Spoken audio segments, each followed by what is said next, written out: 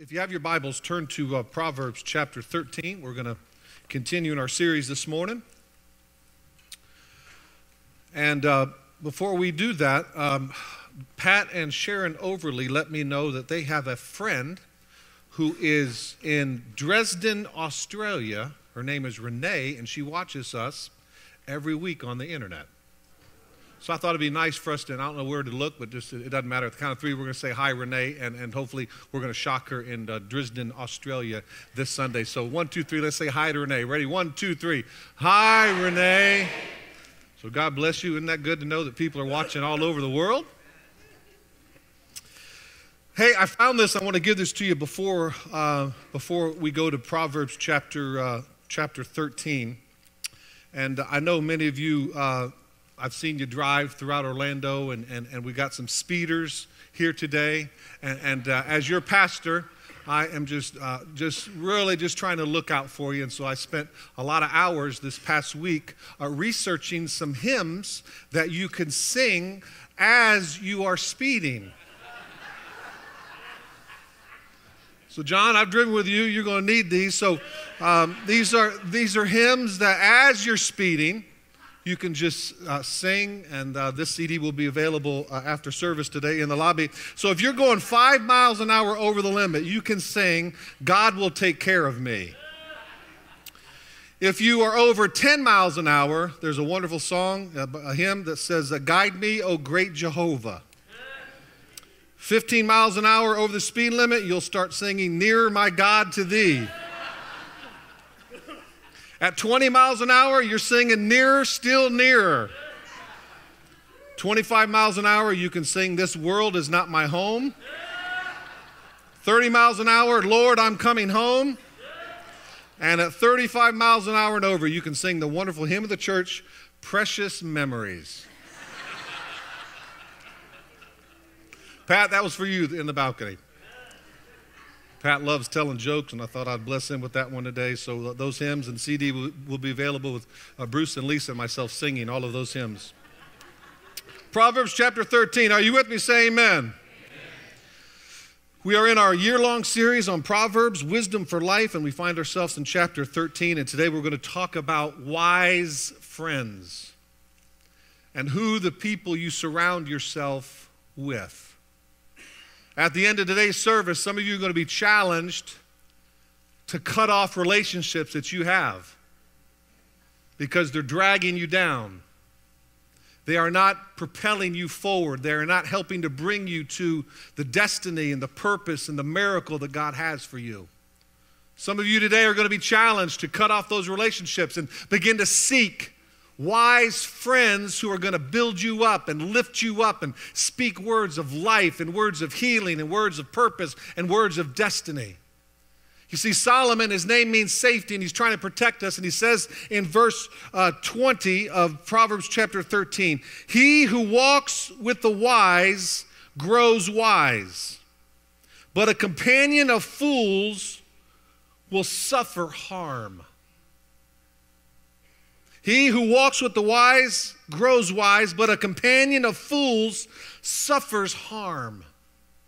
That word there, suffers harm, uh, uh, in the original language, that, that word there means destruction, suffers destruction. If you break down that original Hebrew word, it, it, it means to screech, it means to cry at the top of your lungs. See, what happens when you surround yourself with negative people, people that are not uplifting you, people that are not wise, people that are fools. Your life is a screech. Your life is screaming out, Help! I'm surrounded by people that are not healthy. I'm surrounded by people that are dysfunctional. Solomon, help me to be walking with the wise so that I can become wise. And so we're going to look at an Old Testament, a New Testament story today that is going to help illustrate to us the people that we surround ourselves with. You show me the people that you surround yourself with, and I'm going to show you the person you are to become. I think some of us have relationships, and in many cases, codependent relationships.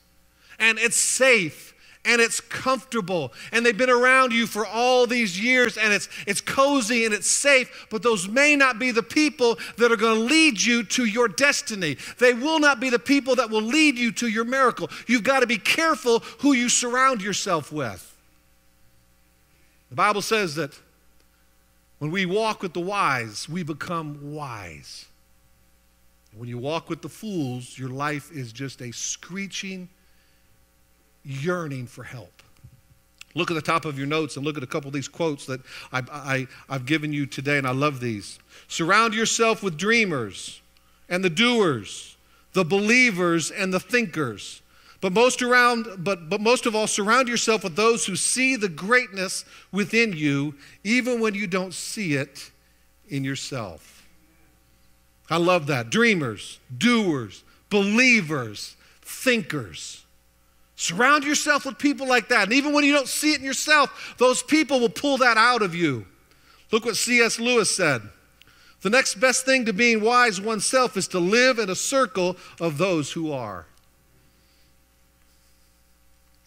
Look around today, oh, not right now in this service, but look around in your life and make an assessment of who you're surrounding yourself with. C.S. Lewis says, make sure that that circle is a circle of wise men and women. Go to, uh, go to Mark chapter, chapter 2. How many are still with me this morning? Say amen. I want to read a verse, of a, a, story to you that I've, that I've preached here several years ago, and I'm going to preach it in a different way with a different slant, a different uh, uh, illustration here today. But we are going to Mark chapter 2. And we're talking about a man who has been paralyzed, unable to move. A man who who wanted to get up and walk and he couldn't walk. He was, he was paralyzed. And many times I see Christians, I see believers that yes, you're saved. Yes, you're going to heaven. Yes, your sins have been forgiven, but you are paralyzed. You're paralyzed mentally. You're paralyzed physically. You're paralyzed supernaturally. You are you're in a you're in a zone and you're not moving forward. You're just you're just existing. You're not moving. You're stagnant. Some would say stale, paralyzed, unable to move. And in the story in Mark chapter 2, there was a man who was in that condition, but he was unwilling to remain paralyzed. He made the decision I'm not going to spend the rest of my life in this condition. I'm not going to spend the next 20 years of my life paralyzed. I'm not going to spend the next 10 years of my life paralyzed. I am going to watch this. I'm going to surround myself with wise people I'm going to surround myself with people who are going to speak life and health and destiny and purpose. And I'm going to surround those people because I believe in the words of Solomon that if I surround myself with wise people, I'm going to be wise. And so this paralyzed man was smart enough, he was, he was sensitive enough to realize that he had to surround himself with the right kind of people if he was going to get his miracle. And I'm telling you today, church, your miracle is determined on who you surround yourself with. People that are speaking life and purpose and faith into your spirit.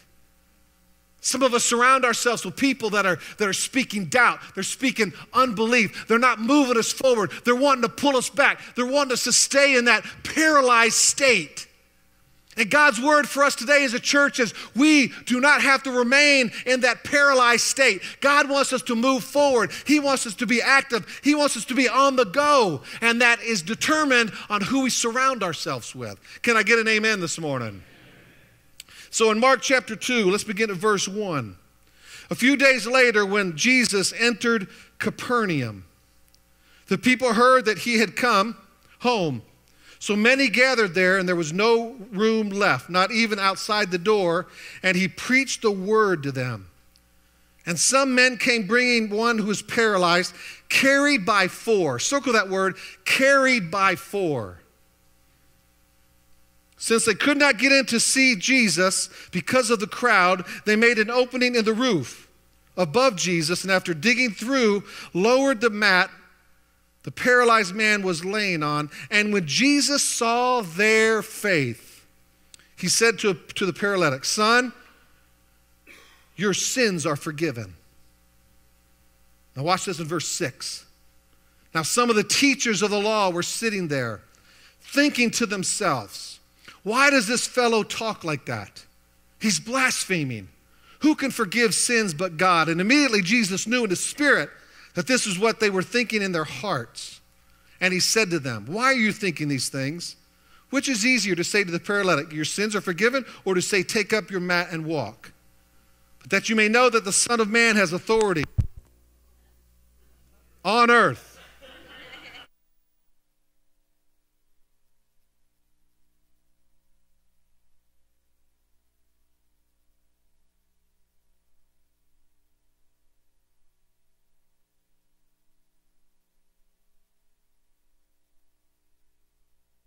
And they praised God, saying, We have never seen anything like this before.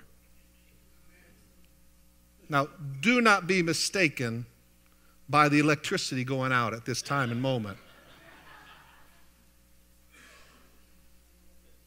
It's just like the enemy.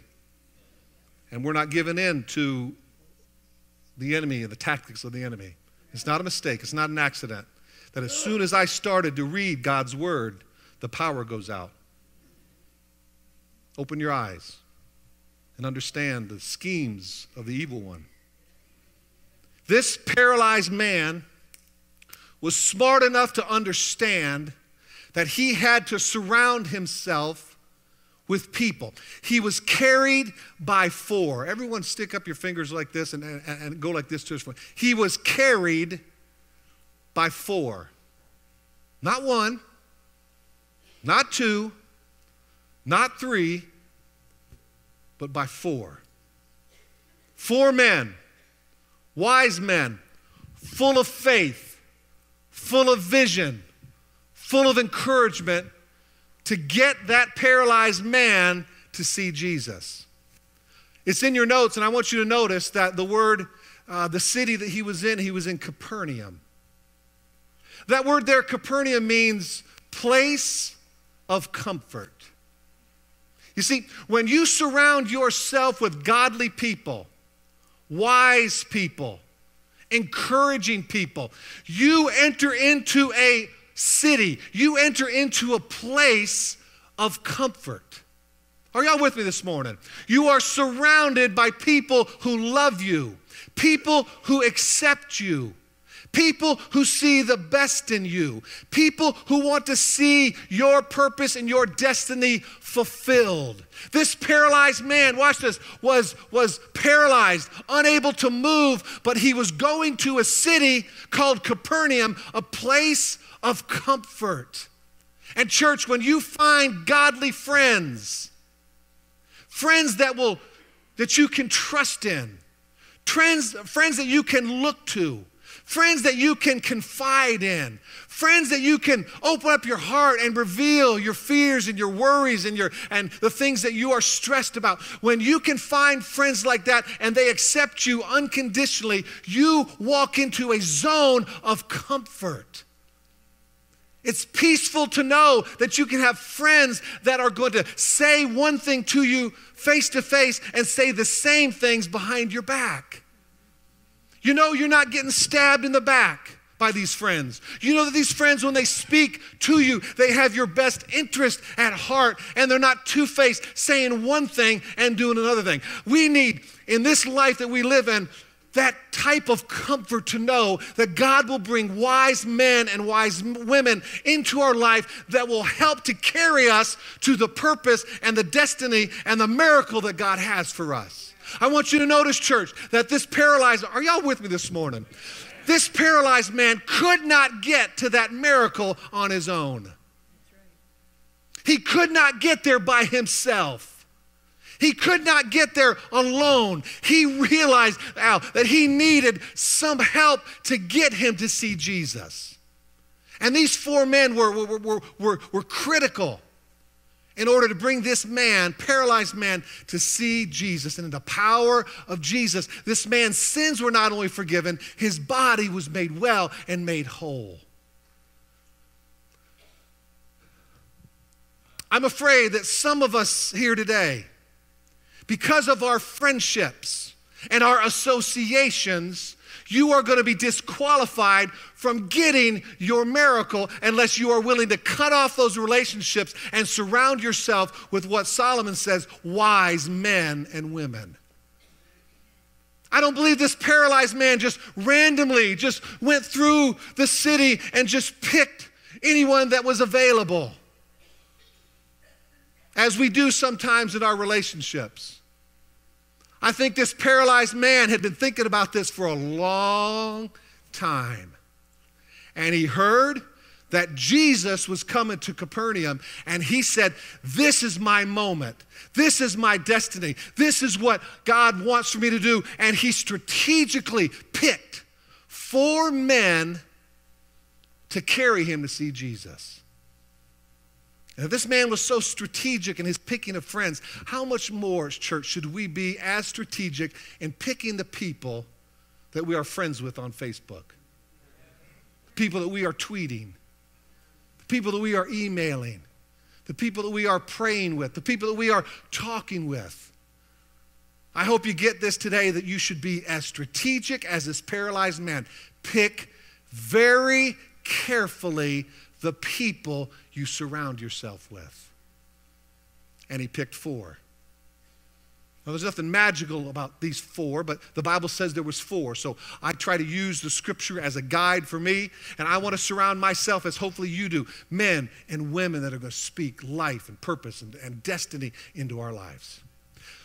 Let me, before I go there, let me give you the four obstacles that I see in this story. And it's there in your notes. How many are still with me? Say amen. Because if you're going to fulfill God's best for you, it is not going to be an easy path. There will be obstacles. How many would agree with that? Say amen. In order for you to get your miracle, there will be obstacles. And I've asked Michelle, and she's done a great job, thank you, Michelle, of placing these four chairs on the platform.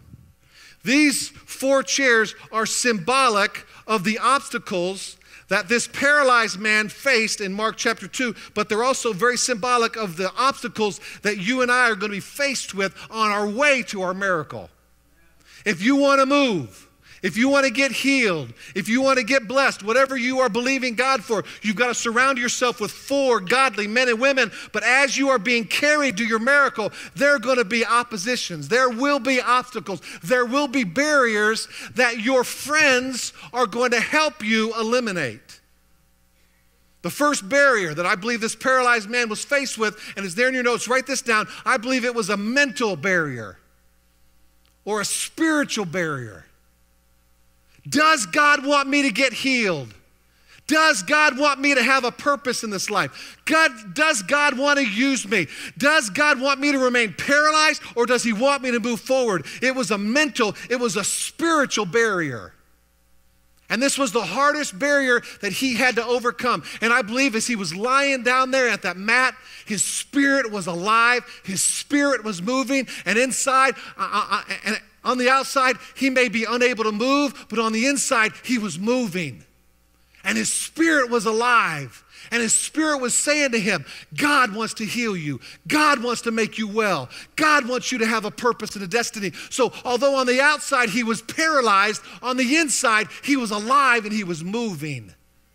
I hope you got that this morning.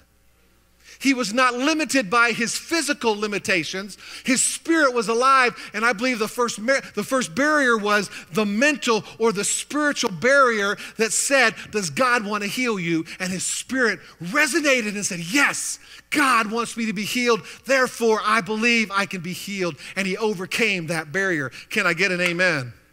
The second barrier was the barrier of the crowd. The crowd was all around. It seemed like an impossible situation. Most people, when you are by yourselves and you're not carried by men of faith, carried by women of faith, carried by people of destiny, you will stop at this barrier because it seems like an impossible barrier. There's too many people. We can't see Jesus. The crowd is so massive. We're not going to be able to make it. But this man, carried by four, had the force and the power to break through this barrier. If you're going to get the miracle that God has for you, there will be obstacles. And you've got to break through these barriers. And the second barrier was the barrier of the crowd the physical limitations. Oh, Pastor Scott, I can't because, and you fill in the blank. Oh, Pastor Scott, I believe God wants me to do this, but, and you fill in the blank of your excuses or your doubts. Every miracle has got barriers.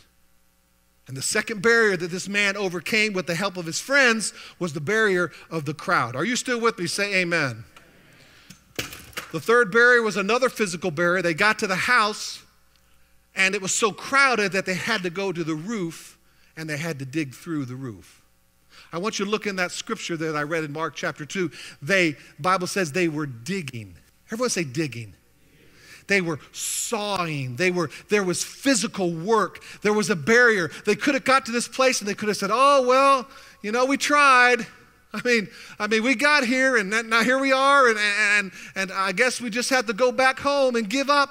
No, but these four men, these four women, were women of faith, women with voices of destiny and purpose. And they said, We have come this far. We are not giving up. Let's go to the roof and let's dig through. I think we miss out on our miracles sometimes because we're unwilling to work. Faith without works is dead.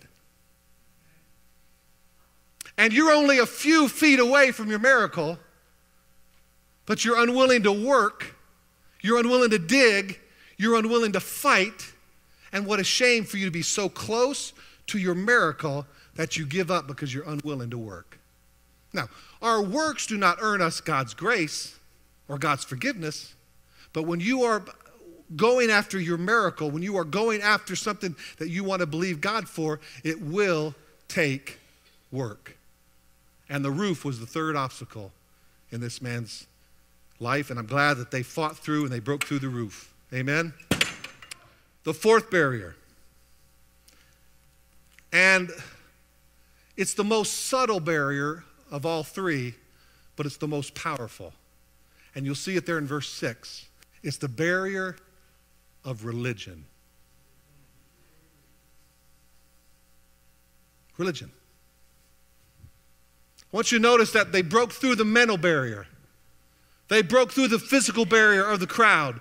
They broke through the roof as the third obstacle. But then, as soon as they broke through, watch this in verse 6, there was an opposition that rose up, and it was called the religion of that day. A religious spirit rose up and said, How is it possible that this man can, can forgive sins? And they started to throw out questions. They started to throw out accusations. They started to challenge Jesus in this setting. And in your life and in my life, the biggest obstacle to you walking into your destiny and your purpose and your healing, whatever God has for you, is the barrier of religion that rises up and says, God can't do that. See, religion hangs on to rules and regulations, and they rise up whenever they see faith. I want you to notice in the story, Mark chapter 2, the Bible says that Jesus, watch this, saw their, everyone say there, faith. He didn't say he saw his faith, says that he saw their faith. And their faith got them through the mental obstacle. Their faith got them to the crowd obstacle. Their faith got them through the roof obstacle. And now, as soon as they break through and they're just within moments of their miracle, a religious spirit rises up and says, You can't do that. That's not the way we do things. Religion hangs on to rules. And Jesus was getting ready to blow their mind. And I'm glad he does. Can I get an amen this morning? Religion and the spirit of religion will keep you, if possible, from receiving all that God has for you. Don't let a spirit of religion the greatest obstacle of all, keep you from achieving and receiving all that God has for you. I'm glad this story ended with Jesus forgiving that man's sins, healing that man's body. And the Bible says that he got up, took his mat, and he walked out the door. And the people said, We have never seen it done like this ever before. What a great story. A man paralyzed, now walking, carrying his own mat. I believe that that's what God wants for you today. You can be in the high 70s like Al or in the low 30s like Barbara. It doesn't matter what age you are. God wants you to be walking, glorifying God. And from that moment on, for the rest of his life, every time someone saw him, God received glory for that miracle. And I believe that every time you do great things for God, that God will ultimately get the glory for what he's done in your life because you were willing to overcome the barriers that were placed in front of you. Let me give you, how many are still with me? Say amen. amen. Let me give you now what I believe are some of the people that you need to surround yourself with. That's at the bottom of your notes. I'm going to give you these four. Four people that you need to surround yourself with. How many are with me? Say amen. amen. I know it's kind of, kind of getting hot in here, but I'm going to close in just a moment, so just hang on. Four wise men with voices that you need to surround yourself with. Number one, let me give them to you. I believe that you need to surround yourself with people with high ethics, men of character, women of character, women of integrity. Number two, I believe you need to surround yourself with people of experience.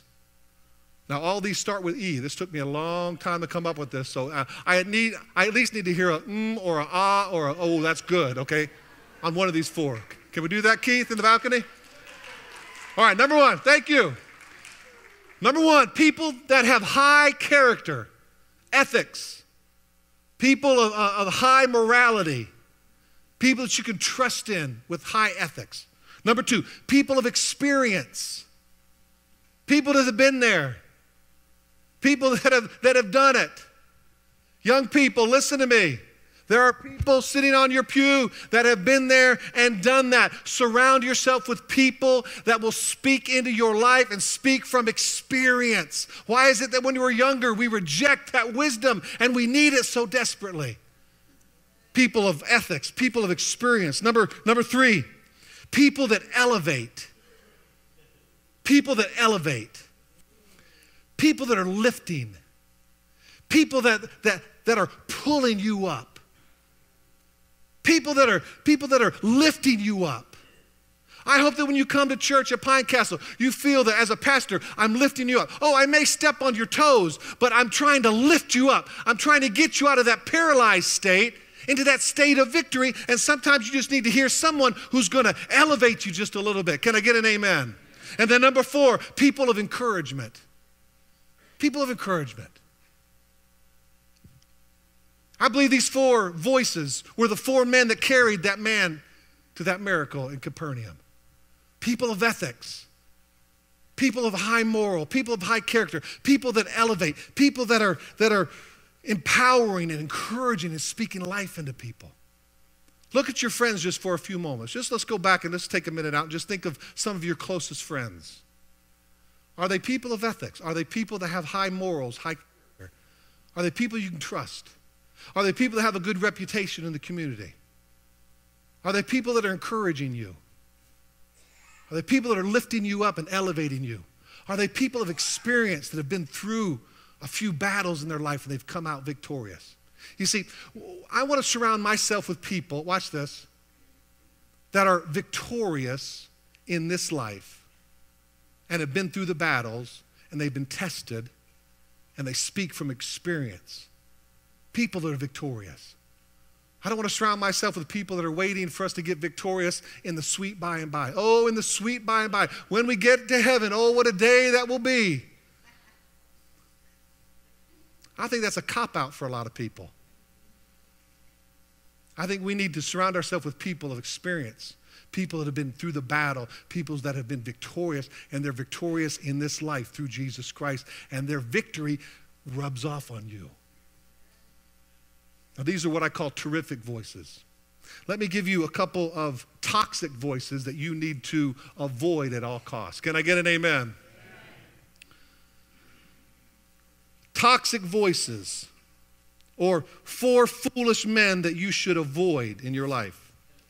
Number one, small thinkers. Small thinkers. Oh, we can't, we, we can't do this. God doesn't want you healed. There's going to be a lot of people there. We're never going to be able to get through. Oh my gosh, there's a roof, and that roof is an inch thick.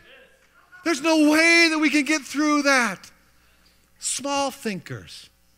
They're not thinking big. They're not thinking big picture. They're thinking very myopic. And, and, those small thinkers, many times, are, are, are motivated by doubt. Do we have a big God that we've worshiped this morning? Can I get an amen? So, if we have such a big God, why do we think so small? And many times in your life and my life, we will surround ourselves with small thinkers. And if you have a small thinker carrying you on your way to your miracle, chances are you're going to get dropped and you'll never make it. You need people that are thinking big. Number two, skeptics. Very similar to small thinkers, but they're skeptics. They always see the glass half empty instead of half full. Skeptics. Their focus is on the barriers, not on Jesus. See, I want people carrying me. Watch this. Watch this. I want people carrying me that are taller and bigger than obstacles through Jesus Christ. And they look above. I want people that are looking, watch this, above every obstacle.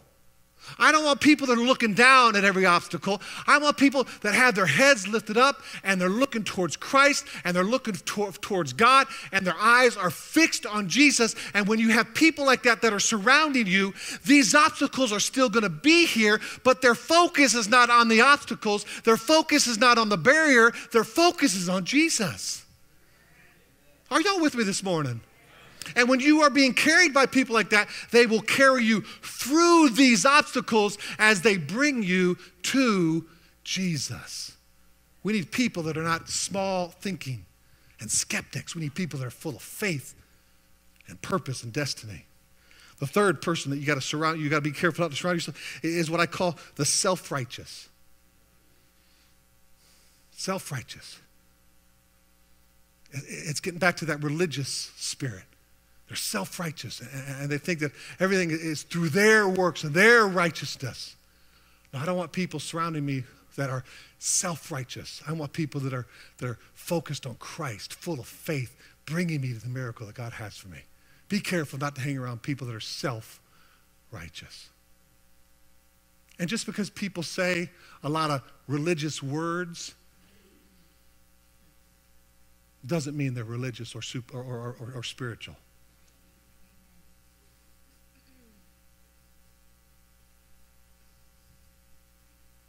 They're empty words sometimes.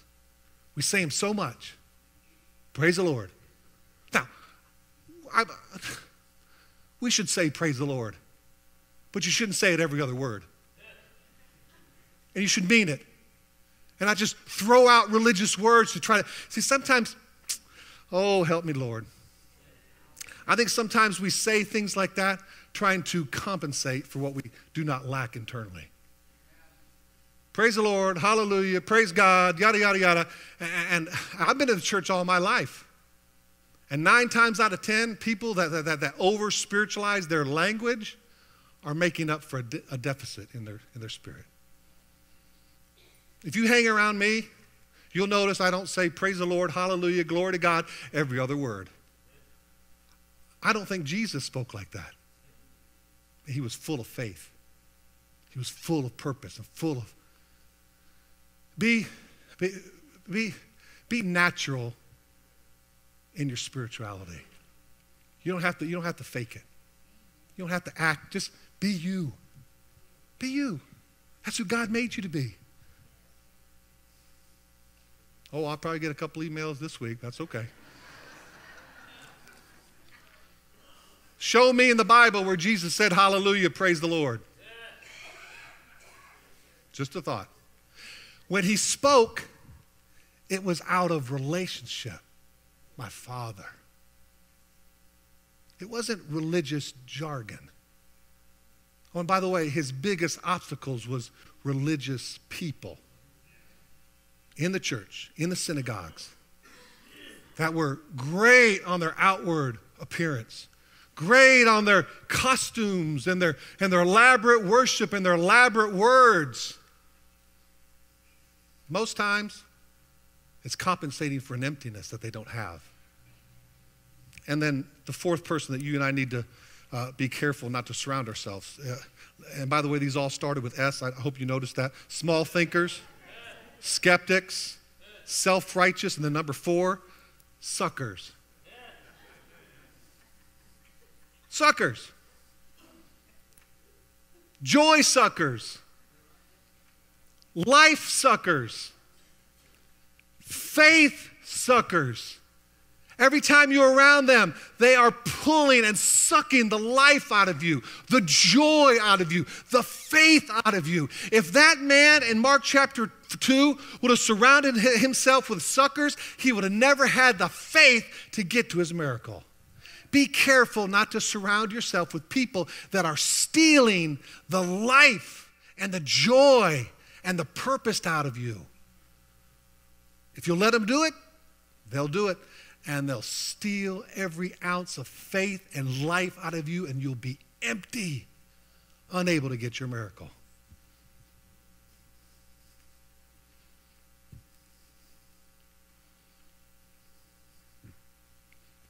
Bruce, I hope you got a good song getting ready to play here because I need it.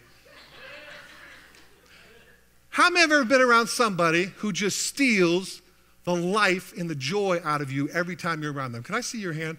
Okay, I'm not crazy. I'm not crazy. Keep your hands up in the balcony. Keep your hands up.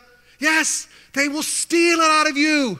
And you feel compelled to give, and you're given, and you're given, and you're given. And guess what? They'll leave you, they'll steal all that you have, and then they will drop you in a New York minute and find somebody else to steal from. Surround yourself with people that are full of faith and full of life. And when you get next to them and you leave that coffee, you leave that lunch, you leave that dinner, you leave that time of fellowship, and you are inspired and energized. That's the kind of people that this guy picked. He picked people that were lifting him up, people that were encouraging him, people that didn't look at the barriers, but they saw Jesus, and that man got his miracle. And if you're unwilling to cut these ties from these type of people, you'll end up paralyzed. Because these people will never get you to the miracle that God has for you.